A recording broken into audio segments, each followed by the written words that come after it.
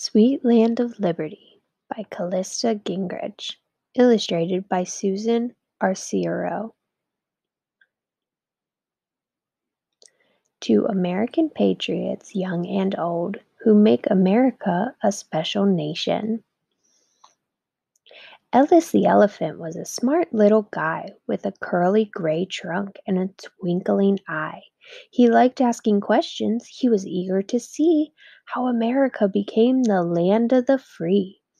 Ellis went to the library, an amazing place, and looked at the books with a grin on his face.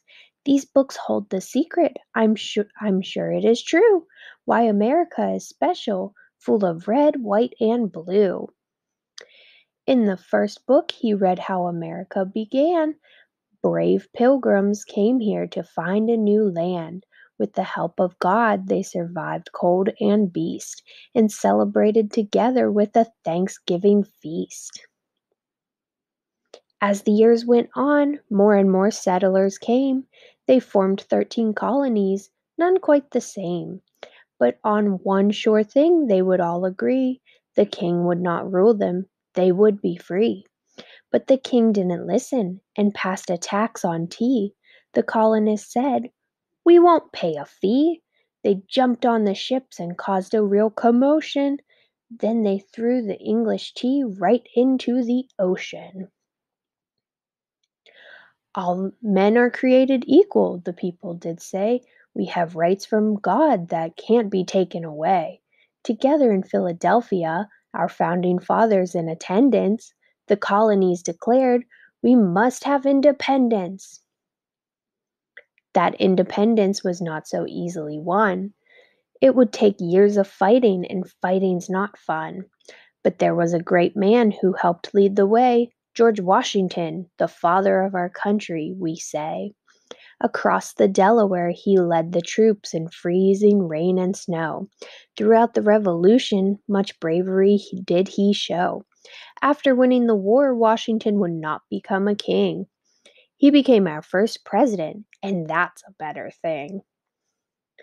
Ellis found another book with more presidents reflected, all chosen by the people, every one of them selected.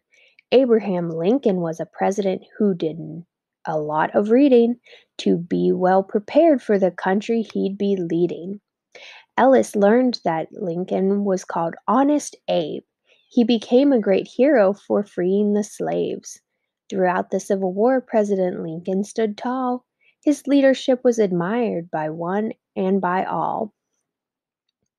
Ellis read of cowboys going west across the plains as families rode together in covered wagon trains. This long journey would put their courage to the test, but the settlers did not stop and forward on they pressed. These Americans were known as the great pioneers, and they would learn to prosper on the new frontier.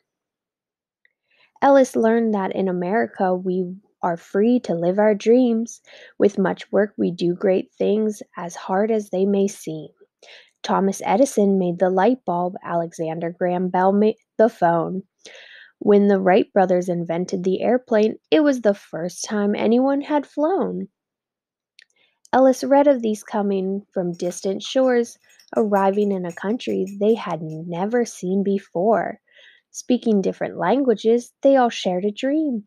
We lived together in a land where freedom was supreme. There were so many people coming to this spot that America became known as the greatest melting pot. Through Ellis Island, these new Americans came, and Ellis was delighted just to read his name. Ellis read about gener- on about generations past. He learned what they did to make freedom last. Our, our freedom was earned by great women and men. We must never forget how brave they have been. They boldly stood up when the country did call. Without them, we might not have freedom at all. Ellis, Ellis learned of the race to put a man on the moon. President Kennedy said, We must do it soon. Many watched as the rocket flew into the sky. Bound for the moon, the astronauts did fly. They raised a flag and began to explore. It was something that no one had done before. As the afternoon passed, Ellis read of the deeds that many have done to help those in need. Whenever there's a challenge, be it far or near, Americans are more than ready to volunteer. Ellis packed up his trunk, he was done for the day. He would come back tomorrow and keep reading away. Now it was time for a celebration, a birthday party for our great nation. Ellis watched the fireworks and could clearly see that America is special, the land of the free.